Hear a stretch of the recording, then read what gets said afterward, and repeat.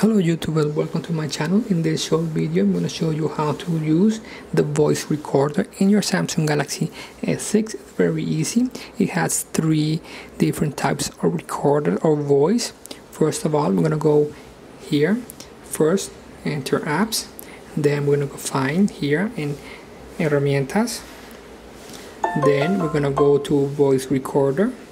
Here we're going to see there are three options. We have the standard interview and voice memo. In standard we're going to use the microphone that's in the bottom. It's the standard way to make a recording. We tap here make the recording. When we're finished we can pause or stop the recording. Here I have a voice recording. Let's make another one. Let's go back and we're gonna do and see the interview option. The interview option is very uh, good because the phone is gonna use two microphones that it has. It has one microphone here in the bottom and has a second microphone here in the top.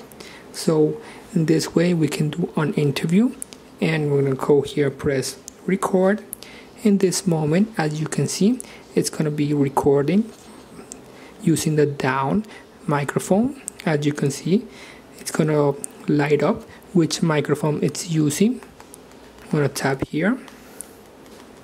As you can see which is one it's using.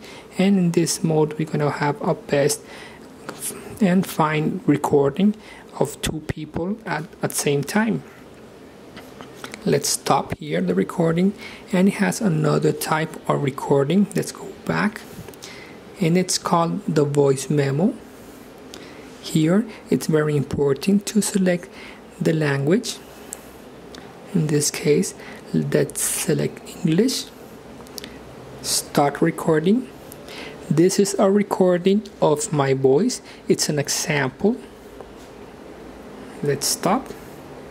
And let's see if it can make a memo.